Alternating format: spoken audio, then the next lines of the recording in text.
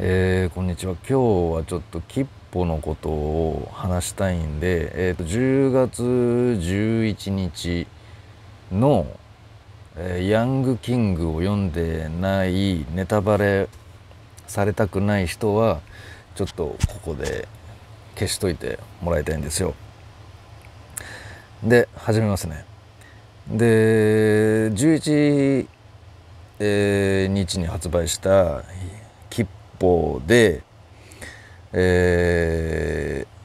田坂と中原、えービースト9代目の2人がまああのビースト2代目の正之助の息子、えー本当の父親は、えー立浪遥ビーストに3代目の正之助と同期なんですけどもこの小生息子の立浪遥の息子小生を使って、まあ、田坂中原が、まあ、何か企んでると。そこで檀野の娘の秀葉と祝言があの道前小生とまあ出会ったのが、えー前回のヤングキングなんですよ。で今回最後にまあその前回の時に小生が花紙のドンばあちゃんのとこにいるということでまあそのドンバーと松尾栄一、えー、と松尾あ小吉郎の、えーひいおじいちゃんえー、とギッチョとかを、まあ、鎖国島に誘った人物なんですけども、えー女神の鬼でドンバーと松尾はその不良を更生させるみたいな共通のまあやり方は違うんですけど共通のなんかその友人というか知り合いだったんですよ。でそこら辺でまあ後々まあ同じ世界設定なんでその花紙のところに樋口っていうもわもわ言ってるその寄生族の王様みたいのをまあこっちでやってくれみたいな感じでまあその後あのえっ、とまあ預かって殺されちゃうんですけどでまあなんとなく絡みはあったんでまあこういう展開も花紙の展開もあるのかなって僕はまあ思ってたんで、まあ、皆さんも思ってたと思うんですけど。でで多分このヤクザの関係で道ちゃんとも知り合いだったし知り合いだと思うしまあ佐吉とも知り合いだったと、まあ、そういう描写はまあ直接会った描写はなかったんですけどまあ悪いつながりでま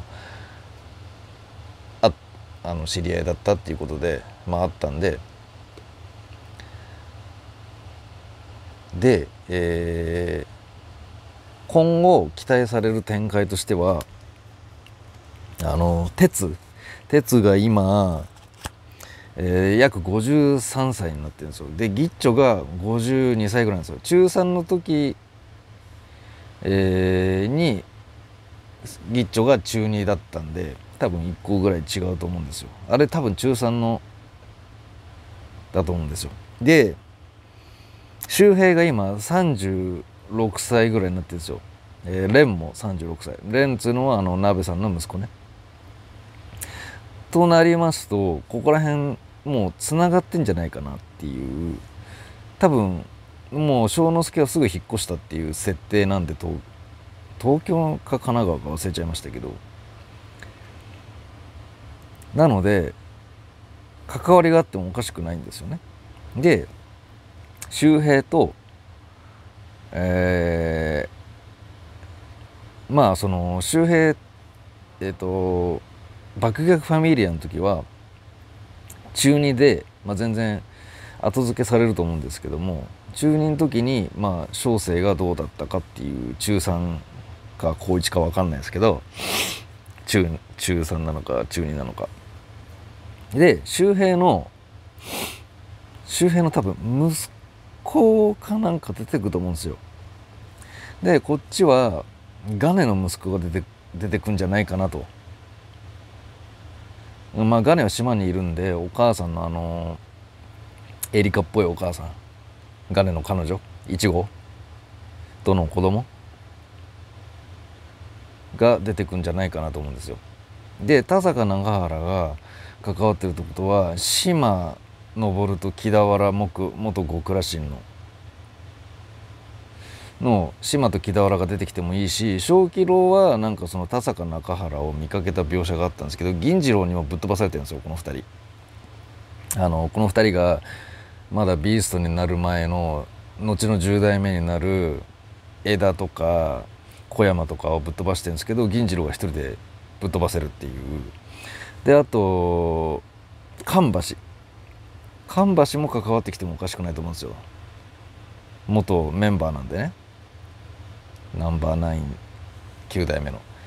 でギッチョと梅が梅がそのこっちでいう花紙の岩さん的な存在だったじゃないですか。一人だけ警察で。あとみんなその職人系のヤンキーがあの大人になったらやるような感じの。で梅も戻ってくると思うんですよ。まあギッチョは多分一郎編が後であると思うんでそっちで出てくると思うんですけど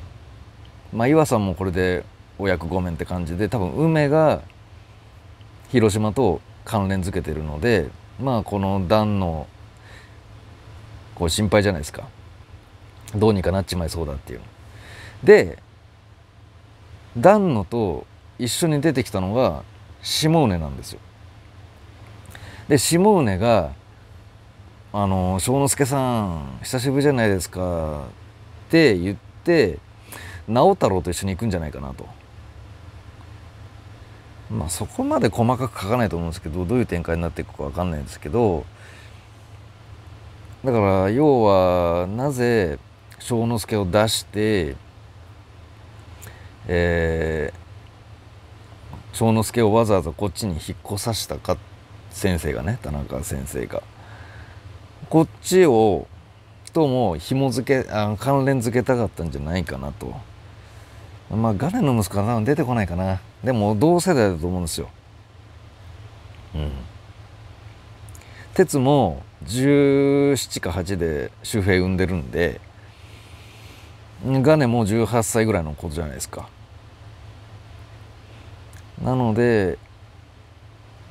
まあなんかまたここら辺からあの蓮の息子か周平の息子か分かんないですけどまあ小生の息子か分かんないですけどまあ鎖国島にまあ関連づけていくんじゃないかなと、うん、どういう展開になるか分かんないですけど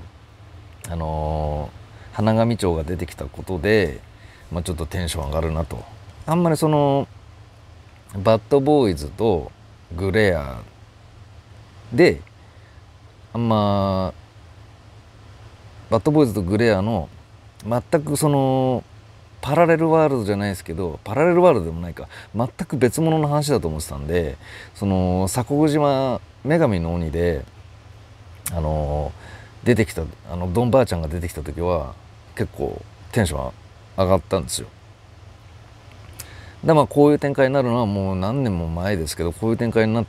てくれやっとこういう展開になってくれてまあ僕は嬉しいんですよね。だから皆さんの意見もちょっと